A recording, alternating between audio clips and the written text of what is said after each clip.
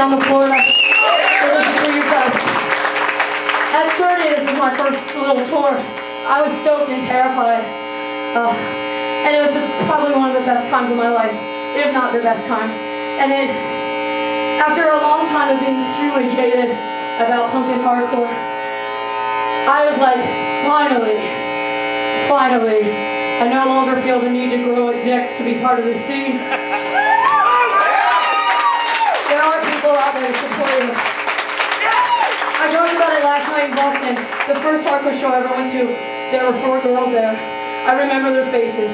I will always remember their faces because you kind of had to. And now I go to shows and it's almost 50-50 and it's fucking amazing. Yeah. So, thank you. If there was next one called Phoenix.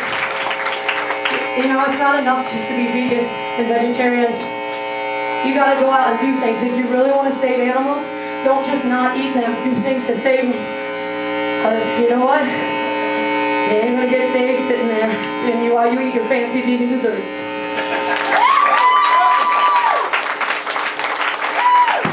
You can stand on your pedestal and preach down to me, preach down to everyone else, but if you don't go out there and practice what you preach, you're a hypocrite just like everyone else.